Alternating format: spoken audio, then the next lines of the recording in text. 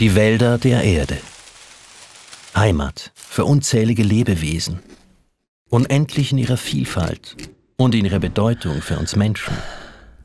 Doch die Lunge unseres Planeten brennt. Waldbrände zerstören öfter und über längere Zeiträume immer größere Flächen. Vom Amazonas bis in die Arktis. Unsere Erde steht in Flammen. Dabei sind kleinflächige Waldbrände natürliche Erscheinungen. Sie gehören in einigen Regionen zum Kreislauf des Lebens. Doch zunehmend ist der Mensch dafür verantwortlich, inzwischen für 75 Prozent der Brände. Gigantische Flächen werden für Monokulturen oder Weideland vernichtet. Die Brände im Amazonas sind besonders verheerend, weil sie den größten und vielfältigsten Tropenwald der Welt zerstören.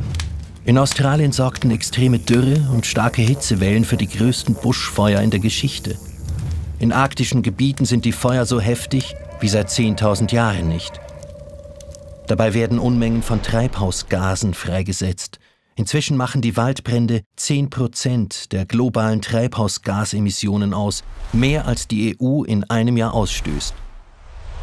Doch nicht nur die freigesetzten Treibhausgase befeuern die Klimakrise, auch absorbieren die zurückbleibenden Flächen kaum noch CO2. Wir zerstören nicht nur Lebensräume, sondern unsere Lebensgrundlagen. Was können wir tun?